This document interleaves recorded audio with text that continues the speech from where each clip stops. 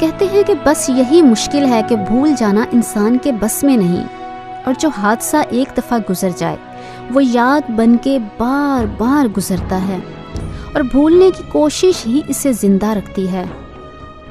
انسان ظالم کو معاف کر سکتا ہے، لیکن اس کے ظلم کو نہیں بھول سکتا۔ بھول جانا انسان کے اختیار میں نہیں۔ موسم گزر جاتے ہیں، لیکن یاد نہیں گزرتی۔ مرحوم زمانوں کی یاد مرحوم نہیں ہوتی۔ پرانے چہرے نئے چہروں میں نظر آنا شروع ہو جاتے ہیں اور پرانے غم نئے غم میں شامل ہو جاتے ہیں۔ اور پرانی یاد نئی زندگی کے ساتھ چلتی ہے۔ تہ در تہ انسان کے اندر ہمیشہ محفوظ رہتی ہے۔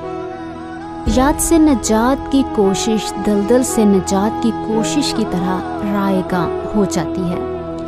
بے شک یادیں انسان کا کبھی پیچھا نہیں چھوڑتی اور یادیں یاد رہتی ہیں انسانوں کے ساتھ۔ چاہے وہ ہمیں بھول جائیں، چاہے وہ ہمیں چھوڑ جائیں، لیکن جو چیز رہ جاتی ہے وہ ہے یاد۔